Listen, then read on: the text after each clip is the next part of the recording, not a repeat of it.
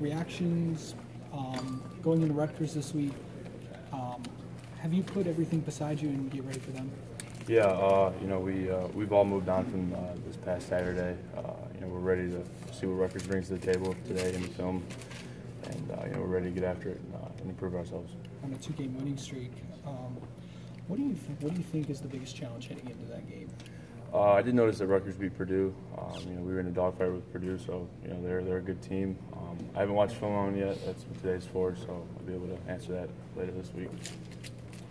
Grant, is an experienced guy, you've been around a little bit, but how are you? I guess with the with the young receivers. I know that you guys are probably you know trying to kickstart the offense. I guess what what has the discussions been like with you receivers, you and quarterbacks along those lines? Um, yeah, you know, we just try to be there for the quarterbacks, um, you know, and for the team in general. Uh, try to make the plays, um, try to you know just make a difference in the game. Um, you know, our goal as playmakers is to make you know blocks on the edges and, and catch the ball, and and then that's our goal week in and week out.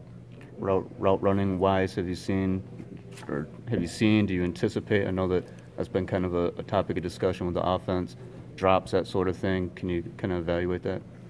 Um, you know, every game you can evaluate a lot of things, um, whether it's drops or you know wrong routes or route running in general. Um, so you know we're, we're going to evaluate today, that today when we go over the film with coaches um, and, and, get some feedback.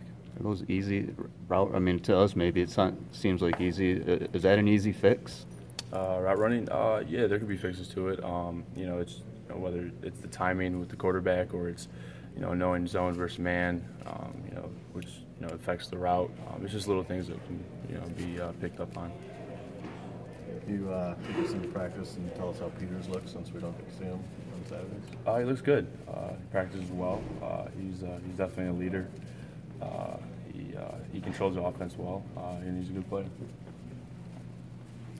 Mood of the team coming out of that one more angry, more determined.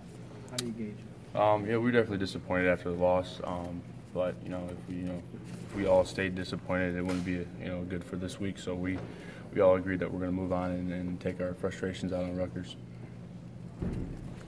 Grant, do you readjust goals? I mean, with two losses in the Big Ten, how do you refocus the team, or do you still say those things are out there? You know, be a long shot, but you still. Yeah, I mean, uh, you know, we every team has goals at you know the beginning of the year, um, and you know, obviously our goal you know is to win the Big Ten and, and you know, obviously you know, make the playoffs. Um, you know, whether or not you know that's a possibility, uh, it's, it's, still up in the air. You know, anything can happen, but uh, we're gonna you know keep playing like that's our goal, um, and you know just keep trying to win games and just play well.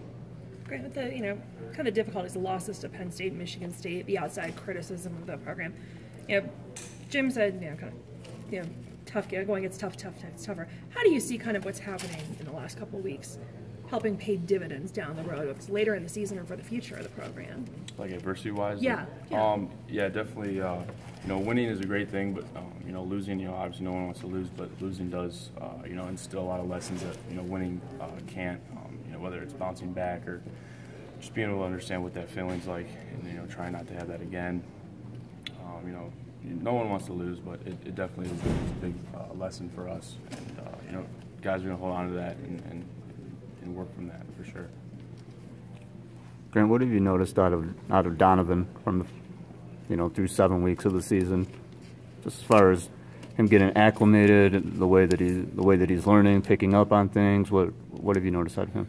Uh, Donovan, he's uh, definitely maturing a lot. Um, he's uh, you know he's doing really well in practice. Uh, you know he's he's picking up on things that you know I wasn't even picking them up freshman year. Uh, you know he's he's understanding the game like a like a like a veteran, um, and and that's going to come a long way, you know, throughout his career.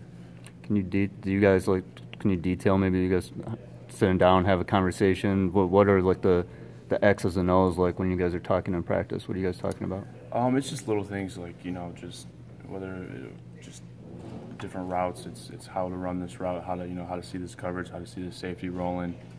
You know, he's seen the whole field really well, um, and you know you know, everyone knows that he was having trouble, you know, back on punt return, you know, muffing the balls or whatever, and, and he learned from that, and you know, he hasn't you know, muffed the ball uh, since. So that just shows that how mature and how much he's how coachable he really is. Where have you where have you differed since you came in? I mean, at one point you were a new, you know, true freshman. You were trying to learn system. I think what at Utah you had a catch. I mean, where where have you kind of progressed the most? Uh, I, I definitely think I've progressed, you know, in, in, in most of the phases, uh, whether it's blocking, catching, running. Um, I definitely have a, a better eye for the game now. I understand it more. Um, you know, I understand everyone like everyone's responsibilities on the field, running routes. Um, you know, where the quarterback's looking, what are his progressions, just stuff like that. Um, you know, with time comes, you know, you know, a lot of learning experience, and, and I'm grateful for that. If not this year, have you? eh, But have you seen signs from Oliver and Nico that they might be doing stuff pretty good in the future? Oh yeah, yeah. Uh, both of, both those guys are you know, crazy athletic, uh, crazy smart, great guys, great teammates, and uh, yeah, they're gonna have a bright future here for sure. Ty said people outside the building are panicking. Um, do you hear that or sense that? Um, you know, I yeah, I mean, I see retweets on Twitter, you know, people panicking or whatever, but you know, I just keep scrolling. Um, I'm not worried. I know the guys in the locker room aren't worried. Uh, we're just gonna go out and play our ball, and uh, you know, just let the let the play decide what goes on. Time for one or two more for Grant. You mentioned that Brandon is a leader in practice. How does he compare to John uh, in the, in terms of leadership and things like that? Um, yeah, uh, just kind of a little tidbit from Coach Harbaugh. You know, I don't like to compare people because you know someone um, you know gets demoted uh, in a comparison. Uh, but they're both great guys. They're both great leaders. You know, Brandon's learning from John, and John's learning from Brandon. And that's just kind of the you know the, the scheme of things. You know, people learn from each other, um, and that's just that's it makes for a good team. What's his personality like? Brandon, Yeah. uh, funny guy, great guy. Um, just you know, he, he loves the game. You know, he loves school. He loves his friends. Just pretty much that. Yeah. All right, thank you for the time. Yep. Thanks, Grant.